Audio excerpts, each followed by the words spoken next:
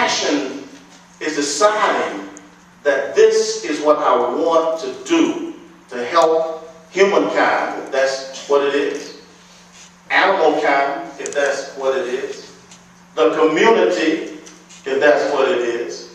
That's passion that drives you. It keeps you going.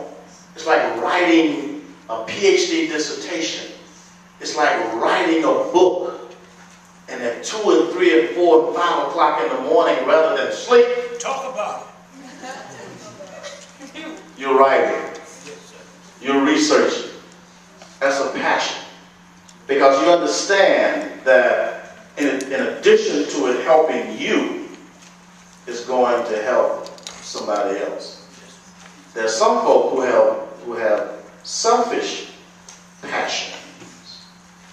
And it's all about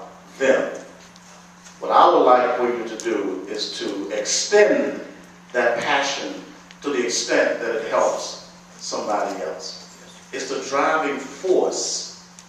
It, it becomes a part of your, it's part and parcel to your very existence.